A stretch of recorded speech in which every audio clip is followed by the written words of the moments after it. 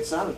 Uh, firstly, Nick, welcome to the Australian University Games uh, as a patron for the event. Uh, we're, we're, very pleased to have been able to, to bring you on board. Um, we hope you're looking forward to being involved. Absolutely, it's a, it's a privilege. Yeah, um, you know, I'm, I'm a huge fan of uh, sport in Australia and sport in Western Australia. So uh, you know, to have it in my hometown is, is fantastic. Such a diverse range of sports. I think there's 31 sports in all, and uh, I'm looking forward to a fantastic games. So, um, you know a bit about the Australian University Games program mm. that we're offering in September. What attracted you to it as a as someone to come on board as a patron for us? Yeah, well, just you know, living in Perth here, it's uh, it's an outdoor lifestyle. I love my sport. Um, I love the diversity that we have here, and and with the games, I mean, with all the sports going on, it's just a great opportunity for the for the young people to to see Perth and to uh, to play play a lot of different sports and a lot of great sports. And uh, anytime you get outdoors and you know, have a bit of fun. That's the one thing that I, I notice, you know, with the younger generation these days. I feel like I'm old now saying that. is uh, you know you sit in front of the TV too much these days rather than just getting out and, and getting and playing and, and competing and that's that's the biggest thing whether you're good at it or not I think the competition is, is really the important thing and uh, I was always a, always a great believer and when I got brought up I was always taught it doesn't matter how you play the game sorry it doesn't matter whether you win or lose it's, yeah. it's how you play the game and uh, just to compete against something, there's no other thrill. And even these days, even if I'm having a game of ping pong with my wife, I still want to beat her, you know. So uh, it's uh, it's just any any tournaments, games, uh, involvement in this that I can ever get involved with. I, I just love being part of it. Um, now your year's taken a slight detour. It's fair to say, um, which has brought you back to Perth, um, which is why we've been able to, to bring you on board. But uh, can you share with us sort of how the knee surgery's gone and, and what's sort of left for you for the rest of this year? Yeah, knee surgery went well. About four weeks ago, I had um, arthroscope on my left knee and then a reconstruction on my right. So um, it came to the point where about six weeks ago, I, I tore the meniscus in my left knee, um, bending down to read a putt of all things. So it's a physical sport, this golf. Yeah. And uh, I had some problems with that left knee, and I've always had problems with my right, and I knew I needed a reconstruction at the end of the year. So to play golf on two bad knees is not a good idea. So um, I thought it was time to come home, get them fixed, and uh, and so far, so so far, so good. Now, I mean, the, the life of a pro golfer seems very glamorous from the outside, but uh, I'd imagine it's it's a little bit different on the inside with the amount of travel and the time away from home and, and constantly moving. What's it? What's the sort of the, the realistic uh, week for you guys? It's you know, look when you're playing golf uh, well, there's no better game. I mean, it, it is glamorous. It's you, you can you know, life is good basically, but when you're playing golf poorly, it really sucks. Yeah. um, the biggest downside to to, to playing the game and, and having a family is, is you, you, you know, you're not home a lot. Um, I've got two young girls and my wife at home. If school holidays are on, well, sure they can travel and, and it's and it's a lot of fun. But if not, you know, it's uh, it's a fairly lonely lifestyle. But um, at the same time, it's something I love and enjoy, and I've I've done it most of my life, and uh, and I wouldn't give it up for anything. It's um, you know as long as I'm competitive and if I can uh, keep doing well at the game, uh, I'll, I'll, keep going. Uh, having said that, you know we've been on the road for probably coming up to 12, 13 years, maybe even longer actually. Um, you know, coming back to Perth with the with this trip and getting my knee sorted out, we've realised you know how good we've got it here in, in Australia. So I think we'll be coming home sooner rather than later. Yeah, and will you make Perth your, your your base when you do come back to Australia, or oh, yeah. will there be a bit of a lure for the East Coast with the East Coast tournament season? Just take a short stint over there and then come back. Or yeah, probably probably just a short stint. I mean, there's there's talk of this One Asia tour getting up and running, um, so hopefully that gets going, and I could base myself here in Perth and maybe play, play a few events there, or maybe play a few on the European tour again, and um, or maybe you know get out of the tournament scene and do something else, like a bit of teaching of golf and things like that. Get back to my roots, I guess. So, uh, but Perth's always home, and and uh, and you know I couldn't think of living anywhere else.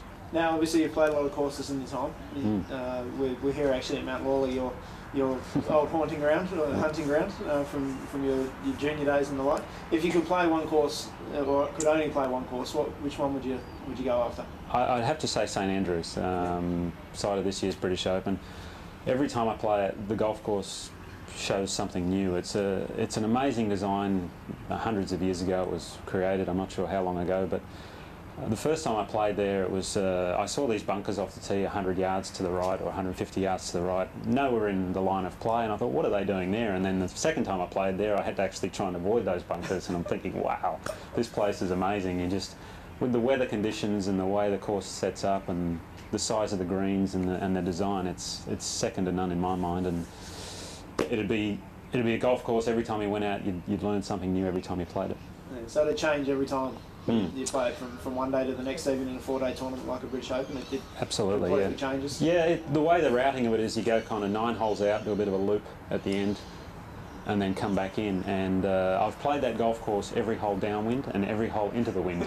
so it's it's quite bizarre. And then other days you play every hole crosswind. So it's one of those golf courses which always throws up something new, and, and the history as well. I mean, when you turn the corner of, uh, I think it's the 17th, you've got to head over the hotel.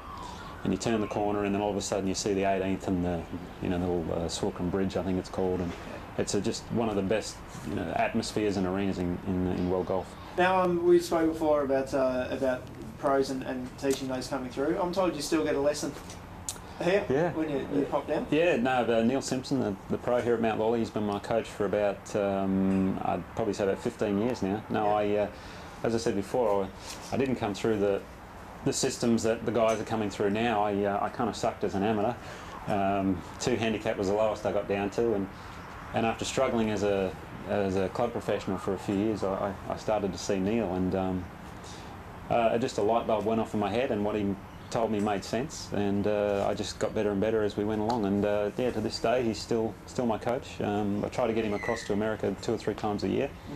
He's getting a little older, so it's hard to uh, entice him over, but he, he keeps coming, so it's nice. And uh, uh, him and my caddy have a bit of fun because my caddy's English and he's an old traditional Australian, so there's Yeah. plenty of uh, plenty of banter going on there. So I just bring him over for the uh, for the competition between those two. So we, we, we have a lot of fun. A good relationship obviously required between player and caddy. Absolutely, yeah. I mean, uh, for, for a golf pro, there's, you know, once you're out on that golf course, it's just you and, and your caddy, basically. There's no one else to rely on. So if you're going through a downtime or, or you're not playing as well, it's nice to have someone there who can support you and maybe point out a thing or two that might be going wrong. And if you're playing well, you just want them to shut up and you just want to keep going. So uh, they have to pick their moments when to say things, when not to say things, and uh, they play a, a really, really big role in, uh, in a golf pro's life.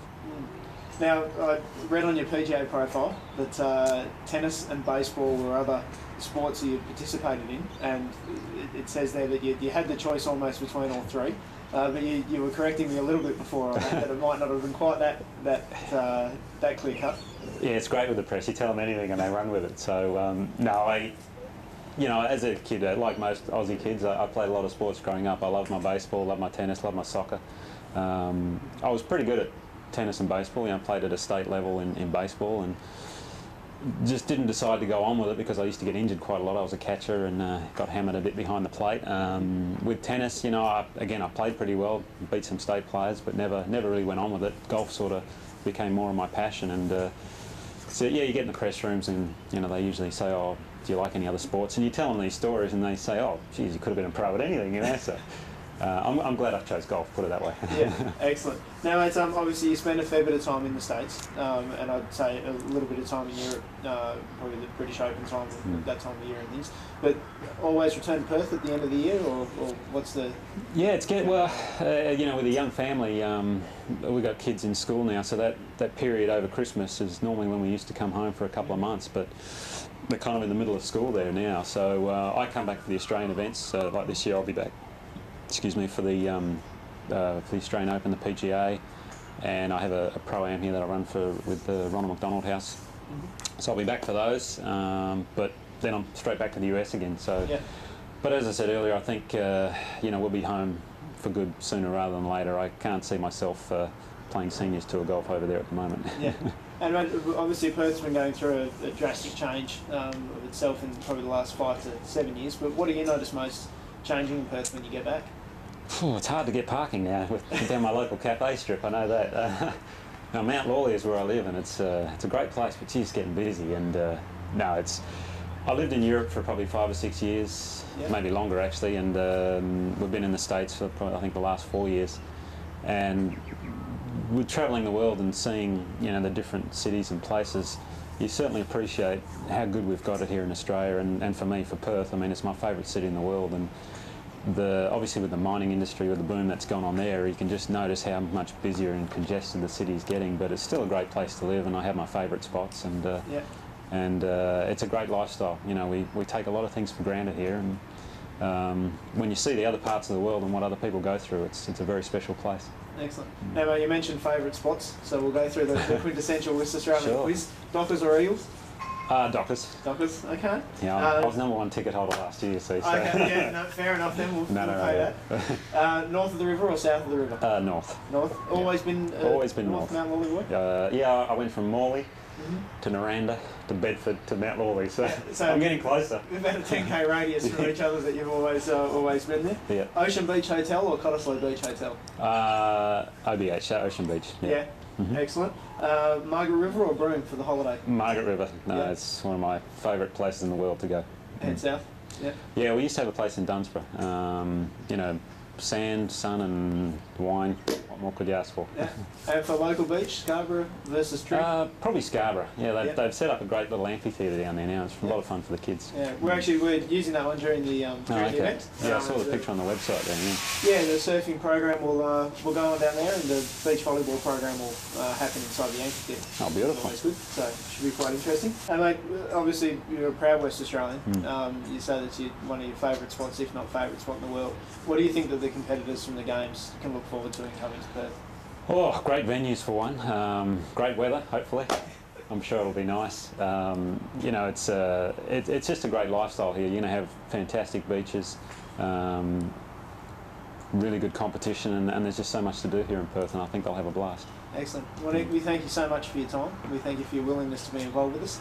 Uh, hopefully the, the recovery goes well with the with the knees, and you'll be back on top uh, sometime soon. See hopefully when you come back down for the Australian season later Mm. this year. Yeah, I look forward to uh, keeping an eye on the games on the internet from America, and uh, and uh, hope everyone has a great time. Excellent. Thank you very much. Cheers, mate.